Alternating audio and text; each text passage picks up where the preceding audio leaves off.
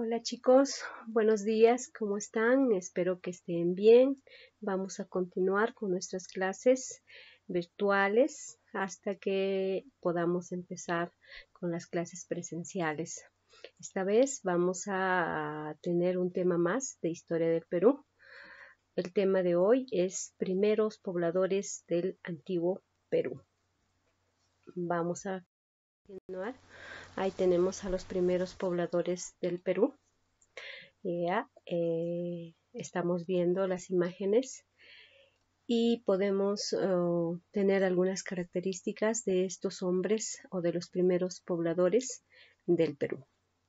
Tenemos, hemos tratado de resumir en cuatro características principales de cómo llegaron los primeros pobladores al Perú. Ellos llegaron, y eran Homo sapiens llegaron a fines del Pleistoceno. vivieron de la caza, la pesca y la recolección. Eran nómades. Nómades quiere decir que se trasladaban de un lugar a otro, que no tenían eh, un lugar fijo para poder vivir. Y se organizaban en bandas. Cazaban mm, un, cazaban, dice, animales como los uh, megaterios y los mastodontes, que eran animales gigantes que en, aquella época abundaban, ¿ya? Y eh, de esta forma vamos a empezar a hablar sobre los primeros pobladores del Perú. Hemos visto las cuatro características esenciales de cómo llegaron estos hombres al Perú, ¿ya? Y hemos uh, nombrado también y podemos observar también en las los dibujos cómo llegaron estos hombres a poblar el Perú. Pasamos a los primeros pobladores del Perú. Tenemos dos periodos, ¿no? El periodo lítico y el, el periodo arcaico. Dentro del periodo arcaico vamos a ver a dos, se, se divide en dos periodos, el periodo inferior y el periodo superior. Vamos a ver primero el periodo lítico, donde los hombres eran recolectores y nómades. Recolectores quiere decir que recogían las hojas que caían para poder alimentarse. Y nómades, ya hemos explicado antes que son las personas que eh, no tienen un lugar fijo para vivir, sino se trasladan de un lugar a otro. Eh, así eran los hombres en el periodo lítico, ¿no? Debajo tenemos el hombre produce instrumentos líticos toscos, por supuesto de piedra, ¿ya? Sus actividades económicas son realizadas de manera estacional. Y tenemos a los principales representantes de estos hombres, el hombre de vaca y casa, el hombre de guitarrero 1, el hombre de chivateros, el hombre de toquepala, el hombre de paiján y el hombre de lauricocha. Ellos son los principales representantes del periodo lítico, donde los hombres esencialmente o principalmente eran recolectores y nómades. ¿no? Pasamos al periodo arcaico. En el periodo arcaico les decía de antes que se divide en dos periodos, un periodo inferior y el otro periodo superior. En el periodo inferior tenemos a los horticultores. Horticultores quiere decir una agricultura insípida, una agricultura en sus inicios, ¿ya? Y eh, seminómades quiere decir cuando ya el hombre se establece por tiempos en un lugar fijo para poder vivir, de acuerdo al clima de cada lugar. Si era apto para poder vivir, seguía en ese lugar sino agarraba todos sus, sus objetos, este hombre, y se trasladaba a otro lugar. O sea, este hombre ya no vivía constantemente cambiando de lugar de, ubicación, sino por largas temporadas ya se quedaba en un solo lugar. Y ya también se manifiesta la, agricultura en sus primeros inicios, que quiere decir los horticultores. ¿ya? También tenemos el Pleistoceno llegó a su fin y el aumento de temperatura produce un cambio de hábitat y se extingue la megafauna tenemos a los uh, restos humanos, ¿ya? Al hombre de Telamachay, Telamachay, el hombre de Piquimachay, el hombre de Guitarrero 2 y el hombre de Santo Domingo. Son los representantes de los horticultores seminómades. ¿Ya? Pasamos al periodo arcaico superior, donde estos hombres ya son agricultores sedentarios. Agricultores quiere decir que ya los hombres se dedicaban a la agricultura, a sembrar productos para poder cosecharlos y de esa forma alimentarse. Y sedentarios quiere decir que ya se ubicaban en un lugar para poder vivir. Ya no andaban de lugar en lugar, sino estos hombres en el arcaico superior ya se establecían en un lugar para poder vivir. Esto debido también, jóvenes, a que ya aparece la agricultura, ¿no? Esto hace que el hombre sea sedentario. Debajo tenemos, se van dando los primeros indicios de diferencias sociales, ¿no? Ya los que sembraban más, los que sembraban poco, ya se diferencian en las clases sociales. Representantes de estos hombres tenemos al hombre de Cerro Paloma, al hombre de Huacaprieta, al hombre de Cotosh y al hombre de Caral. ¿Ya? Pasamos para poder ver uno a uno estos hombres. Acá tenemos, ya ver, tenemos ya, hemos, eh, lo hemos dividido ya por, por periodos. Acá en el periodo de eh, periodo lítico tenemos a los hombres recolectores y nómades.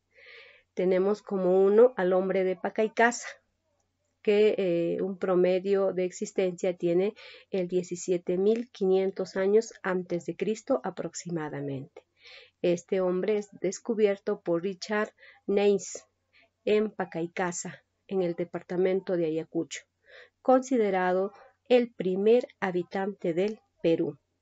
Este hombre ya fabricaba sus herramientas líticas más antiguas del Perú. O sea, este hombre ya fabricaba sus herramientas de piedra y es considerado como el hombre más antiguo del Perú. ¿Ya? Tenemos después al hombre de Chivateros. Este hombre, sus restos se han, encontrado en, eh, en el río Chillón, ¿ya?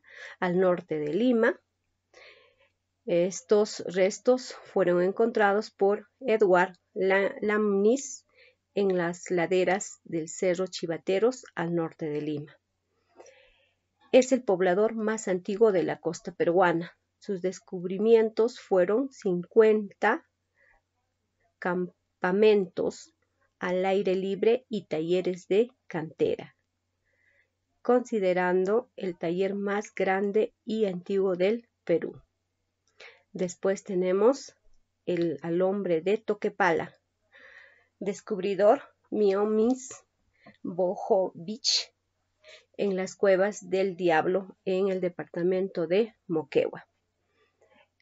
Estos hombres ah, representaron las pinturas rupestres más antiguas del Perú. El Chaco fue la acción cooperativa de coger sus presas o sea, se, se organizaban para poder atrapar a sus presas entre todos los miembros de, eh, su comunidad. ¿Ya? Pasamos, tenemos a dos hombres más del periodo lítico, al hombre de la Uricocha, descubierto por Augusto Cardich en el departamento de Huánuco. Se han encontrado 11 cadáveres en posición fetal en un solo entierro, ¿ya? realizaron diferentes eh, deformaciones craneanas, inicio de creencias y culto a los muertos, también restos humanos más antiguos de la sierra. ¿ya? El hombre de Lauricocha entonces, ahí encontramos a los restos humanos más antiguos de la sierra. Y por último tenemos al hombre de Paiján. Los restos fueron encontrados por Luis Lumbreras en el Departamento de la Libertad. se encontró restos de una mujer y un hombre en dos entierros. Explotación de la fauna menor de roedores, mariscos y caracoles. Estos son los restos humanos más antiguos del Perú. Ahora pasamos a los horticultores seminómades del periodo arcaico.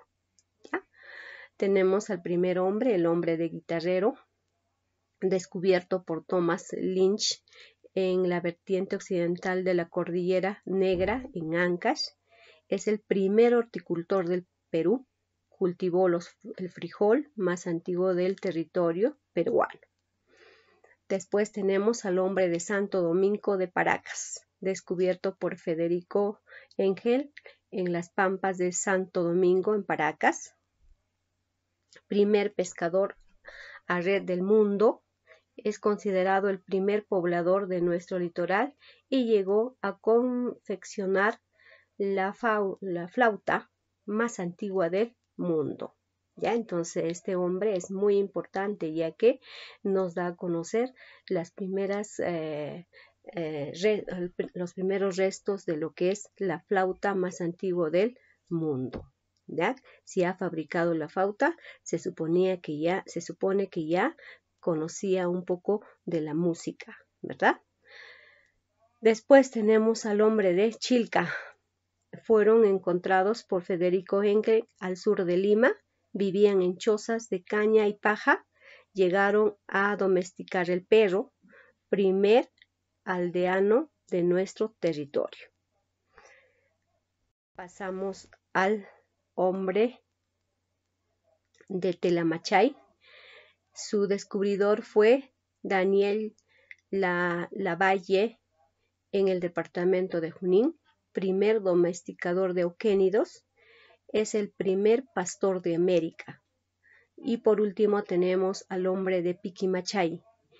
Fue descubierto por Richard Neins en el departamento de Ancash y es el primer domesticador de cuis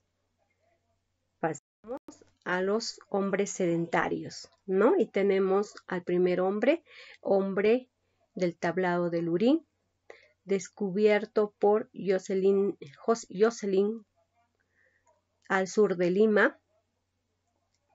Se encontró entierros de un niño con su, jaguar funerio.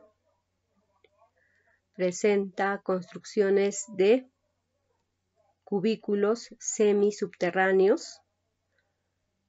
Después tenemos al hombre del Cerro Paloma. Sus restos fueron encontrados por Federico Henglen al sur de Lima. Construyó la primera obra arquitectónica, cercos de piedra con dos escalonatas. Después tenemos al hombre de Huaca Prieta, descubierto por Junior Beer en el valle de Chimichicama, en La Libertad, apareció el primer mate pictórico, dando inicio a la época pre-cerámica. Confeccionó también el primer tejido insípido del Perú. Por último tenemos al hombre de Kotosh, descubierto por Julio Cetello en 1935.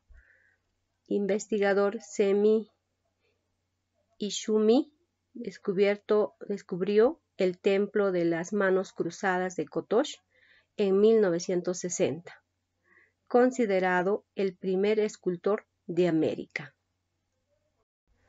Gracias jóvenes, con eso hemos terminado lo que es sobre los, eh, los primeros pobladores del Perú.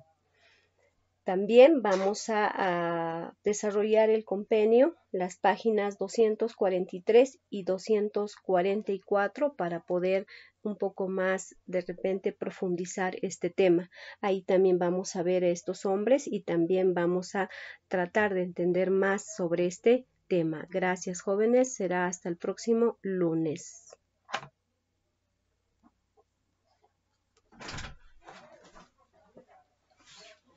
Eso es real, ¿no? Nada, ¿no?